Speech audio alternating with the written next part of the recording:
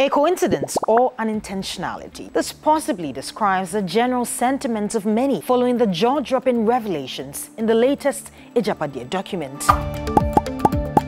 Well, the document, which has since gone viral, has ignited heated exchanges about its authenticity. And despite the ruling NPP's dismissal of the document as fake, recent events may suggest otherwise. But before we get into the crust of the responses to the claims, what does the document really say, and is its content in correlation with current events? Well, let's find out. In essence, the document outlines a strategic plan for the ruling NPP, including the control of Ecobank through SSNIT, shareholding and board representation, placement of party members and sympathizers in key government and judiciary positions, the dominance in the electricity sector, potentially through the PDS scandal, and the implementation of the Agyapa deal. And the reasons for the alleged attempt at state capture were explained in the foreword of the document. Portions of the foreword read, quote, We, the Akyem, were nobody's subjects, and yet,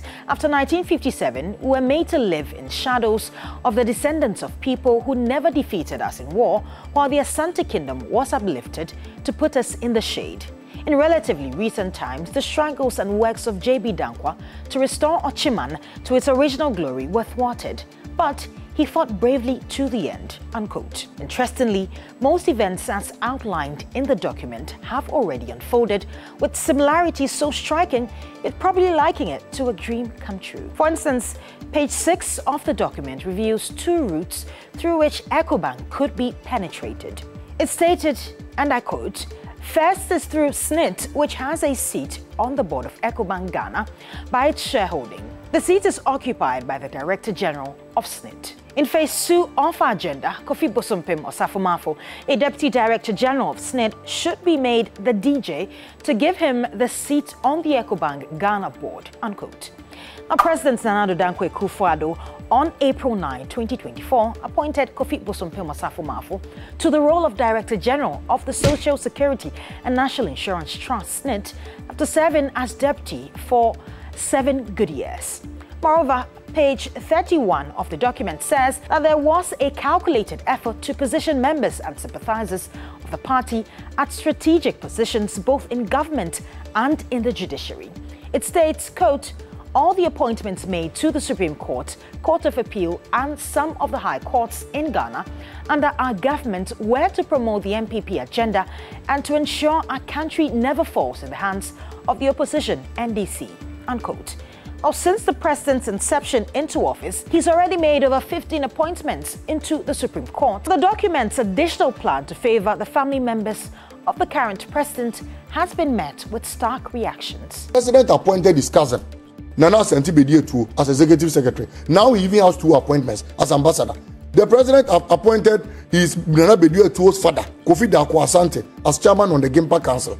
The president appointed Mrs. Vida Asante, who is the mother of Nana Asante Bediatuo, as the Ghana head of the president's household.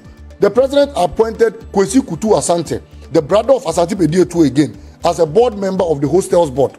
The president appointed Loretta Ochere, the sister of Nana Asante Bediatuo. Ken Ofori-Atta, president's cousin, was appointed finance minister. Samuel Atachia, who is the president's family, was appointed Minister of Works and Housing. Kwesi Amoako-Atta, who is the president's cousin again, was appointed Minister for Roads and Highways.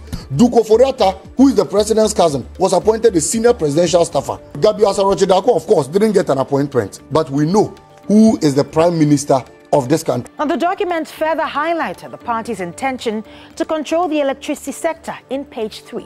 In 2019, the Power Distribution Services PDS was contracted by government to manage the country's electricity distribution. The scandal raised allegations of fraudulent documents, lack of due diligence, and the evaluation of assets and conflict of interest, leading to its eventual cancellation. Moreover, the controversial Agyapa deal, which became a major bone of contention in Parliament, also found itself in the document. The alarming contents of this document have raised concern about the potential manipulation of political power and the attempts at state capture. And the first to directly address the said publication head-on was the man whose image lies on the front page of the document, Okyenhene Osagyefo Amoatia, penning the second himself. President Akufo-Addo has also described it as fake.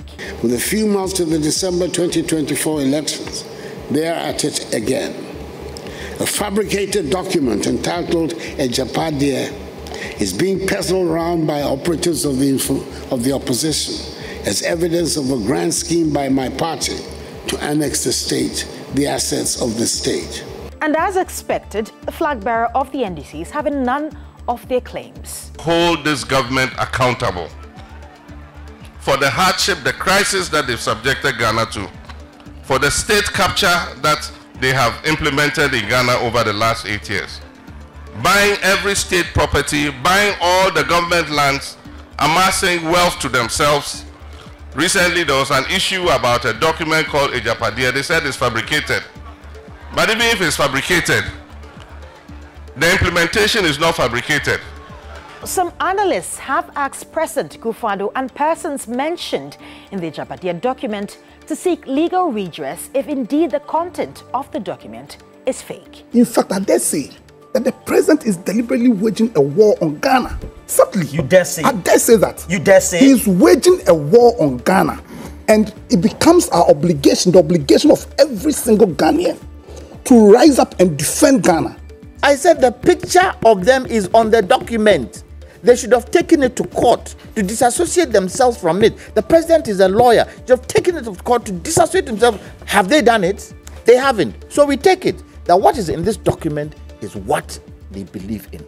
Some may dismiss the Agyapadeɛ document as a fabrication, and others may see it as a blueprint for political manipulation.